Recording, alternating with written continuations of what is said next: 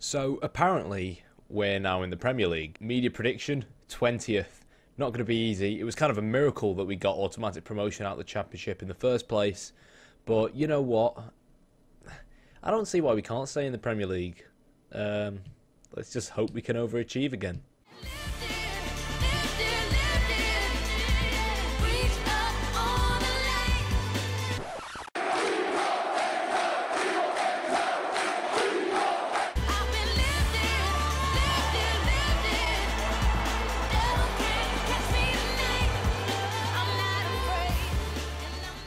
So transfer wise, I got given around 19 million pounds to spend. Um, we ended up selling Ben Marshall to Sunderland for around seven million pounds. That could potentially increase to 10 million pounds. Now I didn't really want to sell him, but um, sorry if you could hear like some sound in the background. That was me playing with my fidget cube, and then I just kind of realised that I'm recording, so I probably shouldn't be fidgeting with my fidget cube. But yeah. Um, I didn't want to get rid of him, but he kind of threw a fit once Sunderland came in. So I thought, you know what, might as well get rid of him. Players we've signed, as you can see, we've signed a lot of players, and I don't normally like signing a lot of players. And on previous FMs, when I've gotten Blackburn promoted out the Premier League first time round, I haven't really had to do that many key transfers because we used to have players like Jordan Rhodes and Tom Cairney and so on. At least the last time I used to play previous versions of FM when I actually had time to play previous versions of FM. So we'd be going into the Premier League with a much stronger squad than we have done this season because we really, really did overachieve last season. So I've had to sign a heck of a lot of players. Haven't really spent too much money on anyone bar Ludwig uh, August Augustinsson, um, who's a player you might have heard of. He's kind of a bit of a wonder kid on FM. Um, but I didn't sign him because he's a wonder kid. I signed him because he genuinely did look really good, and we needed a left back because obviously Stephen Hendry um, left because we had him on loan. Basically, three quarters of our squad last season that we got promoted with was with loan players, so I've had to completely revamp our squad. First signing, James McClean um, from West Brom.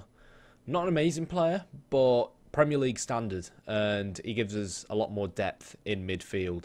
Pretty fast, pretty pacey, good on the ball. Um, we bought him for 3.4 million pounds, and he's only on 32k a week, so that's not too shabby, really. Next up, we've got uh, Adlène uh, from Watford. We signed him for 600k, bit of a bargain. Um, he's kind of our best midfielder, in my opinion, now, at least for the box to box role that we had in our 4-4-2 that we're going to try and continue using uh, going into the Premier League. So decent player, decent signing, good all-round central midfielder, got a bit of everything really. Just got to try and hope he can stay fit. Next up, of course, we've got Tyus Brown in. Now, this was the player that I brought in on loan in January when we were in the Championship just to try out and accidentally realised I put a mandatory um, future fee as opposed to an optional future fee on him, which means that we ended up paying 400k for him and we're stuck with him, and he's nowhere near Premier League standard. So he's just been sent on loan to League One, Scunthorpe, and let's just hope he improves, but I can't really see him improving. Next signing, uh, a bit of a controversial one. Uh, kind of signed Andre Gray from Burnley. Now, if you don't know, Blackburn and Burnley is basically the fiercest football rivalry in the country. Uh, at least if you ask me, and I know a lot of people uh, agree with that as well. But at the end of the day, Burnley got relegated, and he wanted to jump ship, you know, and come to the right side of Lancashire. He's he's he's played pretty well in pre-season. He's been banging them in. He suits the deep line forward role pretty well. Um, so yeah, didn't really spend much on him. Only 1.4 million, and I think he's going to be key to uh, to us staying up this season, or at least trying to stay up this season. Next up, 275k Lee Wallace from Rangers pretty old, 30 years old. We only spent 275k on him, but as you can see, he's a pretty decent left back, decent all rounder. Not on that much money a week uh, either. He can also play centre back and anywhere down the left hand side of the pitch. Technically decent as well. Got a nice burst of pace on him, so he can definitely whip a ball into into the box. He's not meant to be our, our, our main left back, but as backup, he's a lot better than what we had last season. Another signing, a bit of an FM legend back in, I think, FM 12 or something like that. This guy used to become immense. Unfortunately, as with a lot of FM Wonder Kids, reality is very different to what has happened in previous FM games. It's uh, Damien Le Tallec. He's a French central midfielder. Um, signed him from Crvena Zvezda, a team in the in the Serbian First Division. We need a bit more depth in that defensive midfield role, so I decided to bring him in. He's not going to be a starter for us, but again, we lost a lot of players um, because of the players that disappeared at the end of the season because we had a lot of players um, out on loan uh, in on loan. Sorry. So again, it's all about making sure we've got squad depth because it's going to be a long season, and I guarantee you injuries will cause problems. And one of the problems we faced towards the end of end of last season, towards the end of the championship season, was dealing with injuries.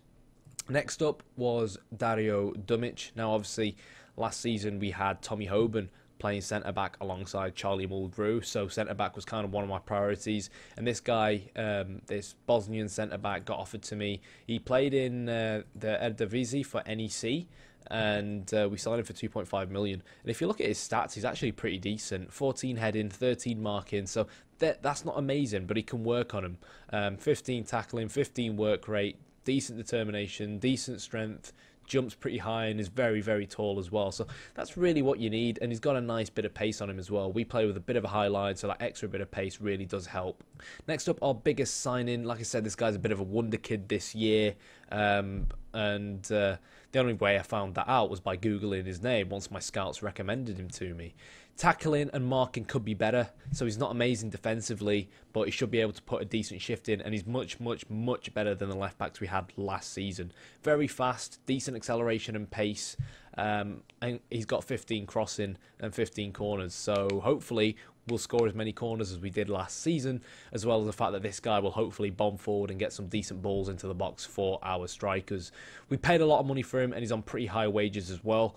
But I really do feel like if this guy can utilize these traits and start getting balls into the box, then we'll score goals, and that's what we're going to have to do to stay up. Another signing, Fabio, obviously ex Cardiff, ex Man United. Middlesbrough got relegated, so I decided to pick Fabio up once we sold uh, Ben Marshall to Sunderland. Now, Fabio is a much better right back than Ben Marshall. Ben Marshall kind of played right back for us in the Championship when he weren't even a right back. Uh, the only thing I'd change about Fabio, if I could, was kind of make him a little bit bigger, which makes him a little bit better defensively, obviously. But in pre-season, he's actually helped a lot getting forward. Uh, he's got a nice burst of pace on him as well. Decent crossing, decent tackling, decent marking. Really, the best we can hope for, given our stature as a club and the amount of money we had to spend. Next up is Yaya Sanogo.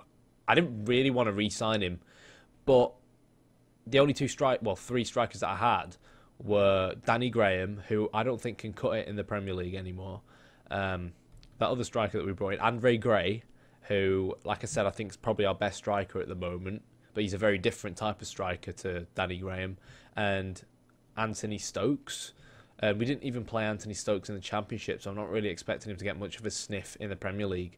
So I was looking for strikers to buy, came across a few, and then I realised that Yaya Sanogo is available on a free. Now his finishing and composure will probably still be problematic for us, but he's honestly better than everything else out there.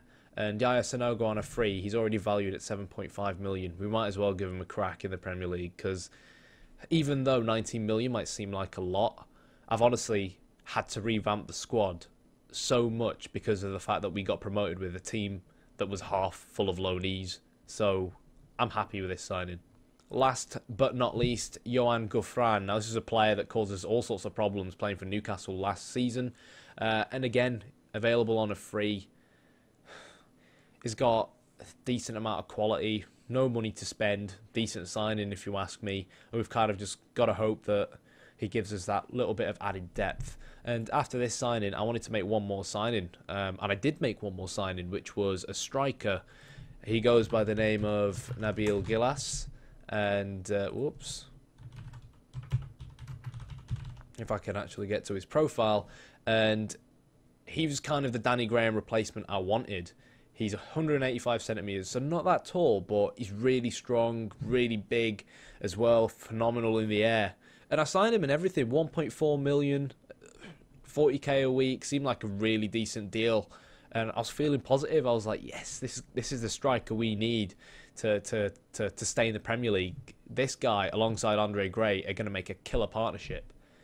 And then after I signed him, I kind of like went forward a few days and I was like, what the hell? The, the season's almost going to start and he's still not arrived at the club yet. And then I realised that it said joining Blackburn on the 1st of June 2018. And we're obviously in 2017. So I investigated and it turned out that he's on loan from Porto at Gaziantepspor for two years. So we can't get him until his loan deal at Gaziantepspor is over. So I've gone and paid 1.4 million and agreed a contract with this guy, and he's not even going to join us until next year. And next year we could be back in the championship. Plus we've lost that money that we paid, by the way, which means I can't put that money towards another striker. So that's kind of tilted me a little bit. Um, trying to be positive. We had an okay preseason. Defensively looked pretty sound, but first game of the season is at home against Chelsea. It's on TV. They've got a new interesting manager because Conte got picked up by Barcelona. So uh, Roberto Mancini has come to Chelsea, and uh, not really expecting to get anything from that game. I think if we are going to try and stay up and try and achieve that 40 point mark. It's teams like Ars- uh, Arsenal, teams like Crystal Palace, Sunderland, West Brom, and Newcastle, etc., that, that we have to try and get points off. No idea how the 4 4 2 is going to fare me in the Premier League, but I want to keep faith at least for a month or two. So, on that note, let's just go to Ewood Park and play Chelsea and see what happens.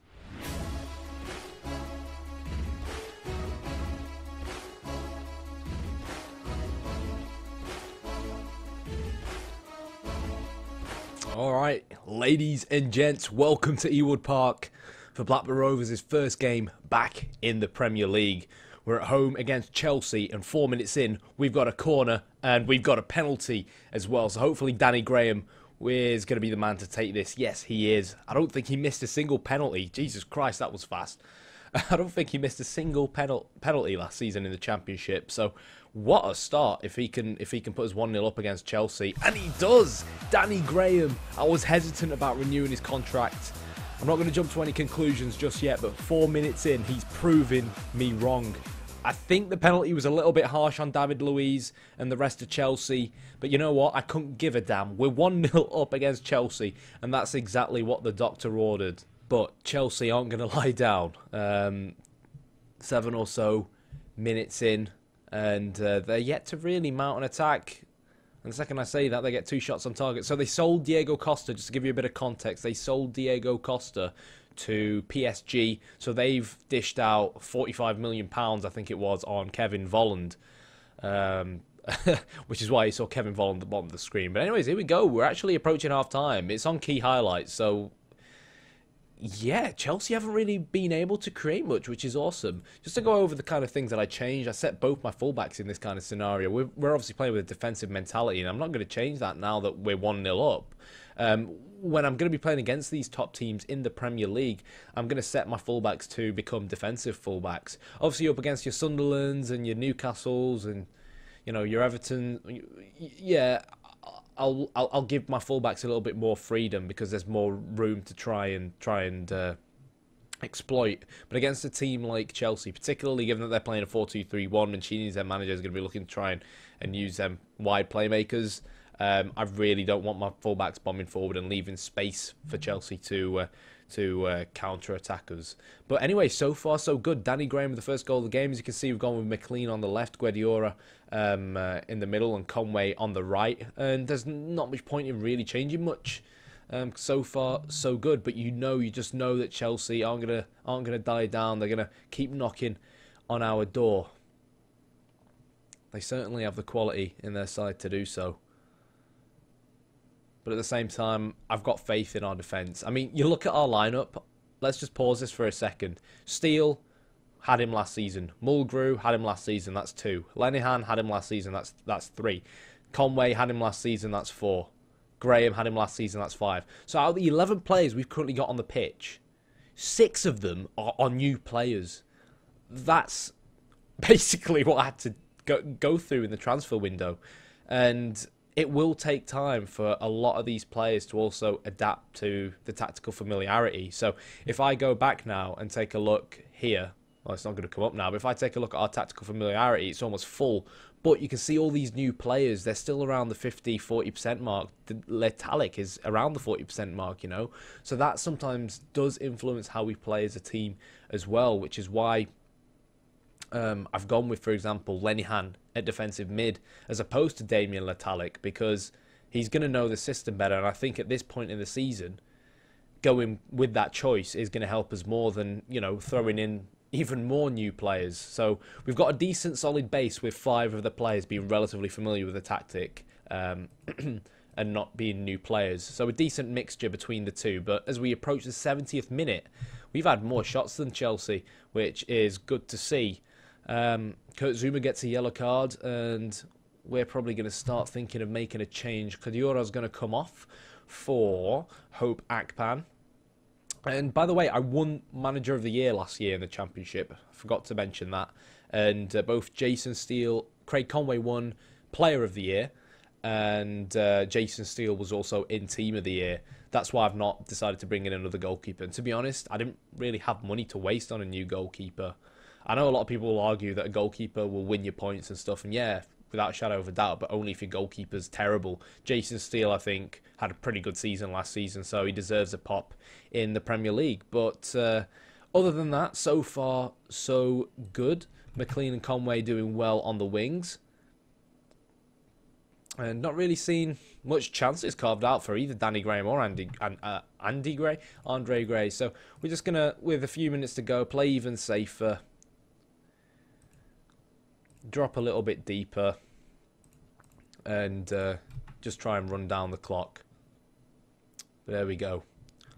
Long ball from Steele straight towards Danny Graham, and now Craig Conway is going to look to cut inside as Hope Akpan, newly substituted on, wins the ball in midfield. And even though one of my uh, my fullbacks meant to be on defensive, Fabio still run forward. He's going to whip the ball in now, surely, and Danny Graham is going to make it two. We're 2 0 up against Chelsea at home. Mancini is collapsing, and what a start to our Premier League um, campaign.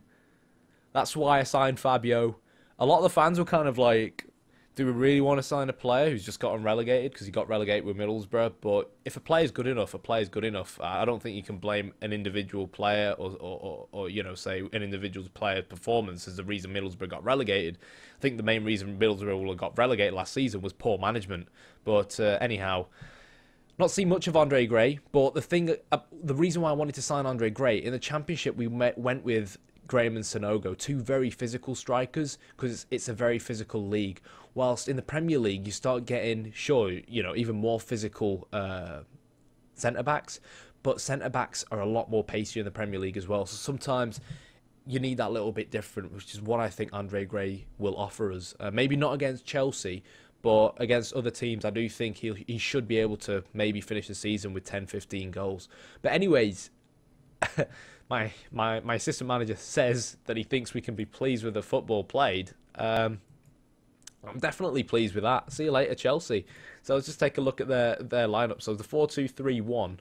Uh, they they brought Danilo in at right back. Uh, Christensen is obviously a youngster who uh, they now think can break into the first team. Had John Terry alongside him, Dave at left back, um, Fabregas. So yeah, world class players main, mainly Volland and Volland and Danilo and Christensen are the new players there, but we've just beat that team with our team.